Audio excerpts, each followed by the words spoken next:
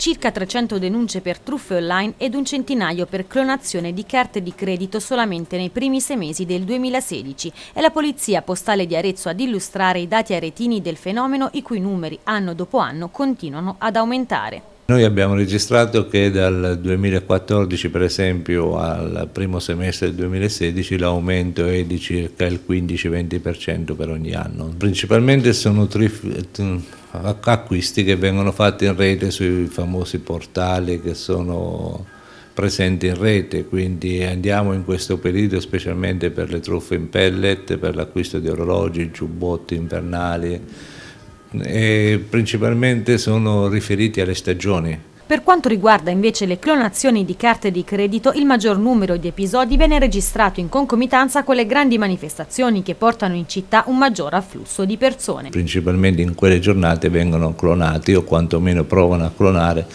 postazioni bancomat eh, dislocate su tutta la città d'Arezzo. Nessun caso segnalato nel 2016 invece per quanto riguarda gli episodi di cyberbullismo, tema caro alla polposta di Arezzo che da tempo si è attivata con campagne di informazione e prevenzione all'interno degli istituti scolastici. Ci confrontiamo, insomma, parliamo con i ragazzi degli istituti e, e illustriamo le problematiche del bullismo, cyberbullismo e quindi gli diamo le indicazioni per cercare di evitare tali accadimenti. Un genitore cosa può fare per tutelare il proprio figlio?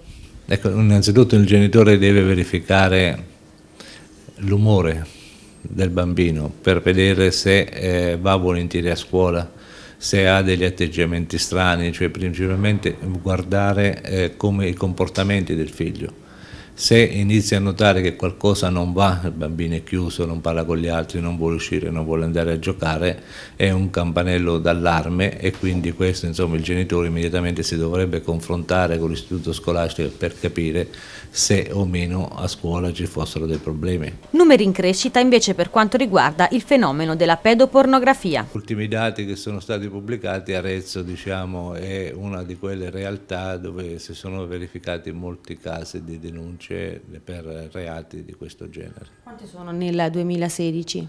Nel 2016 nel primo semestre circa 8.